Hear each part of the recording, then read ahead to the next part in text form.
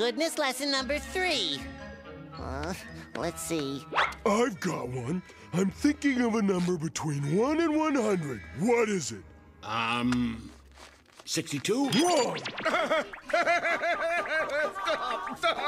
Hey, Patrick, that's got nothing to do with being good. Let go of it, SpongeBob! Pat, we've got to use it only when he's bad. Let go!